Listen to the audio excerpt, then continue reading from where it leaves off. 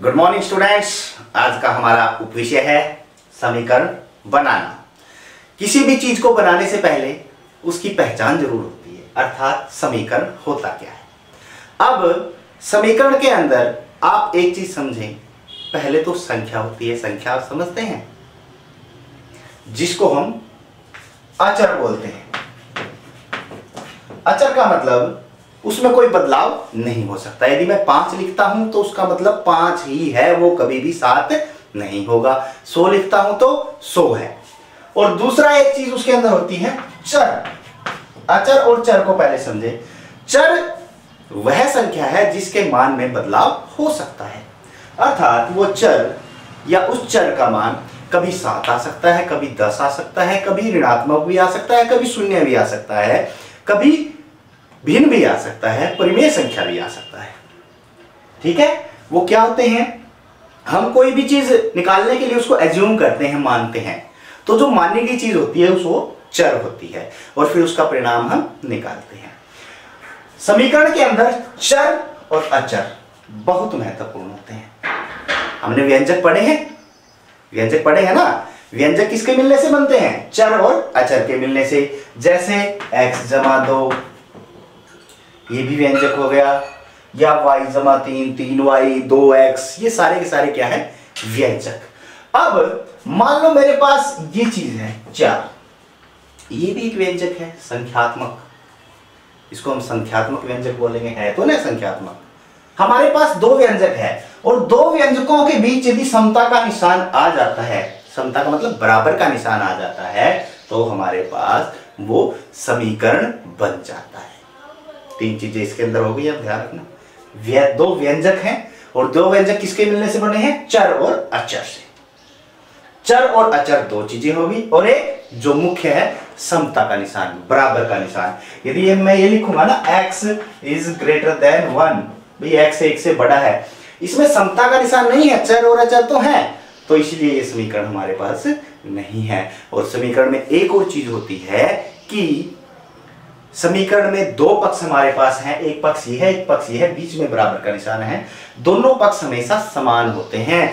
जिस प्रकार हम तराजू में देखते हैं ना, जो पुराने तराजू आजकल तो डिजिटल आ गए हैं। पुराने तराजुओं में क्या होता है, यदि एक किलो चीनी लेनी है तो दुकानदार एक तरफ़ एक किलो का बाट रखेगा, दूसरी तरफ़ उसको तोलता जाएगा। जब वो दोनों बराबर हो जाएँगे तो वो उसको रोक देगा। ज़्यादा जाएगा तो उसमें से निकाल लेगा चीनी। मतलब उसके बराबर करना है। तो यही चीज़ है कि बराबर ये समता का निशान दर्शा रहा है कि दोनों पक्ष क्या है? समान है। जितना मान x जमा दो का है, उतना ही मान चार का भी है। तो समीकरण समझ गए? x जमा दो बराबर चार मतलब दो पक्ष हैं और दो पक्षों में चर और अचर संख्याएँ हैं और दो पक्षों में से दोनों पक्षों में चर होना ज़रूरी नहीं है, इस चीज़ को समझे। लेकिन कम से कम एक पक्ष में चर होना ज़रूरी है। एक पक्ष में चर होना, हम ये नहीं कह सकते दो बराबर चार, ये मेरा समीकरण बन गया। ये नहीं है। ठीक है ना? क्योंकि उसके अंदर कोई चर नहीं है। चर होना ज़रूरी है। हालाँकि ये तो संभव भी नहीं है दो बराबर चर। लेकिन फिर भी वैसे अमूमन हमने अंदाज़ा लगाया कि ये समीकरण नहीं है। समीकरण के अंदर समता का निशान, एक या दोनों पक्षों में चर। एक या दोनों पक्षों में। एक में भी उसका दोनों में। लेकिन कम से कम एक पक्ष में एक चर होना ज़रूरी है और समता का निशान और दो पक्ष हमारे पास होने चाहिए। अभी हम समीकरण बनाना सीखेंगे। हमारे पास कुछ शाब्दिक प्रश्न दे रखे हैं शब्दों में, उनसे हम समीकरण बनाएँगे। सबसे पहले तो हमें उसकी भाषा समझनी है। ध्यान से देखें, पहला प्रश्न y और चार का योग छह है। किस किस का योग छह है? y और चार का। मतलब वाई में यदि चार जोड़ेंगे तो क्या हो जाएगा? छह। बस। वाई में चार जोड़ेंगे तो वाई में चार जुड़ेगा नहीं अभी यहाँ पे। चार वाई नहीं होगा वो, ध्यान रखना। Y जमा चार ही लिखा जाएगा। चर के साथ जोड़िया घटा में कोई संख्या होती है तो वो वैसे ही लिखी जाती है। ठीक है? अब दूसरा, x में से पाँच घटाने पर आठ प्राप्त होता है, ये भी कर लेंगे। x में से कितना घटाएँ? पाँच घटाएँ और क्या प्राप्त होता है? आठ प्राप्त होता है। देखो, x में से पाँच घटा दिया, प्राप्त होता है बराबर का निशान बीच में समता का निशान हमें लेना है। आगे b का पाँच गुणा पाँच गुणा, किसी भी संख्या का यदि गुणा लेंगे इतने गुणा, दो का दस गुणा क्या होगा? बीस। दो गुणा दस, सीधे लिखेंगे ना? तो लिखेंगे पाँच गुणा बी, और गुणा में चर के साथ संख्या सीधी लिखी जाती है। पाँच गुणा बी का मतलब पाँच बी। इसका मतलब ये हो गया, यदि मैं लिखे लग रहा हूँ सात एक्स तो इसका मतलब मेरे पास क्या है? सात गुणा एक्स। ठीक है? अभी बी का पाँच गुणा और तीन का योगफल, इसमें तीन और जोड़ना है। इसमें तीन और जोड़ना है। तीन का योगफल कितना है हमारे पास? तैतालीस है। ये आ गया मेरे पास। पाँच बी जमा तीन बराबर है तैतालीस। और आखिरी टी का एक चौथाई। एक चौथाई का मतलब उसका चौथा हिस्सा। तो टी बटे चार। चौथा हिस्से के लिए हम भाग देंगे। हिस्से करने के लिए भाग देंगे।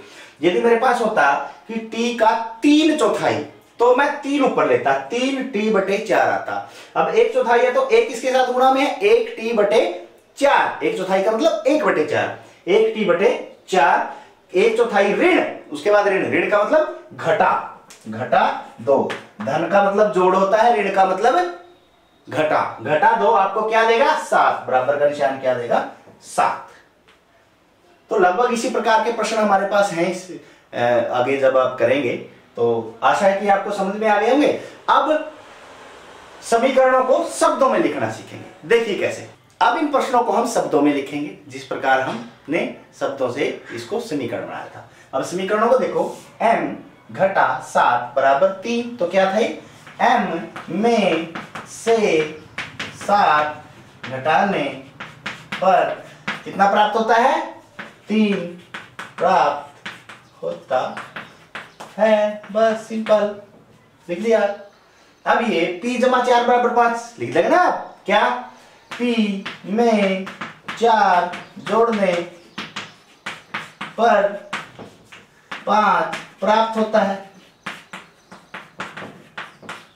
या इसमें ये भी लिखते हैं, p और चार का योग पाँच है। या m ऋण सात करने पर तीन आएगा। कुछ भी अपने, अपनी भाषा में भी आप इसको लिख सकते हैं। अब ये चार पी घटा तीन, चार पी। यहाँ क्या बताया था? गुणा, हा। यहाँ पे गुणा होगी। क्या लिखेंगे? पी का चार गुणा। और उसके बाद क्या था? पी के चार गुने से क्या हो रहा है? पी के चार गुने में से घटाया जा रहा है दो। तो पी का चार गुना ऋण दो। आपको क्या देगा? क्या दे रहा है? सात देगा। ठीक है। आगे एम इसका चर है और तीन बटे चार तो तीन चौथाई। तो एम का तीन चौथाई एम का तीन चौथाई तीन है। बस। या इसमें हम लिख सकते हैं m का तीन गुणे को चार से भाग देने पर तीन प्राप्त होता है। अपनी भाषा में भी आप इसको लिख सकते हैं, जैसा आपको ये दिखाई दे रहा है। तो आशा है कि ये प्रश्न आपको समझ में आ गए होंगे। अब ये प्रश्नावली कीजिए और अपने अध्यापकों को दिखाइए।